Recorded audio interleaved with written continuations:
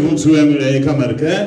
Jesteśmy na weselu Alicji. E, Tu. Krystian tu, a tu są. Proszę wybaczyć, że powiem uczciwie. Zajebiści goście, jedno z najlepszych wesel w tym roku. Więc brawa, jedziemy, jedziemy. No i co? No i co? Pierwszy konkurs, pewnie nie ostatni. Słuchajcie, tu mamy serce z autografami gości, tu mamy serce z autografami gości. I teraz jak myślicie, co się stanie z tymi sercami?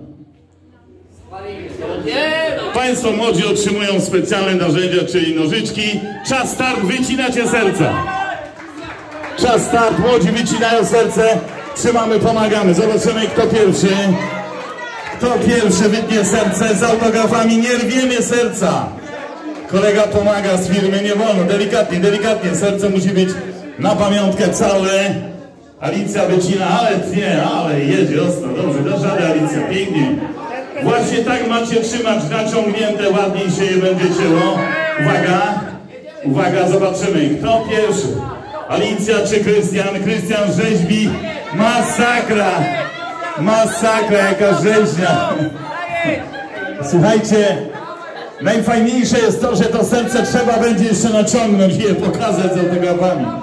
Więc uwaga, kto będzie krzyczał? Kto pierwszy? Kto pierwszy? Krystian pierwszy, słuchajcie, ale tradycyjnie muszę, muszę wam to powiedzieć, że tradycyjnie jak facet zrobił taką fuchę, a tu kolega jak się poświęca. Słuchajcie, słuchajcie, słuchajcie, teraz tak, wy stójcie tam, gdzie stoicie, wy z sercami chodźcie z tej strony, obróćcie się przodem do nich, niech oni to zobaczą. Zobaczcie, jaki szarpidlor wyszedł.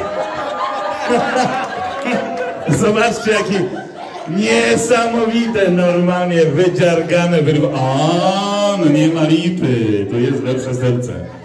Dobra, słuchajcie, słuchajcie, ponieważ ewidentnie, no niestety, pan młody był szybszy, więc pan młody wygrywa konkurencję weselną i za to jako wygrany z gestem dżentelmena funduje żonie weekend spa.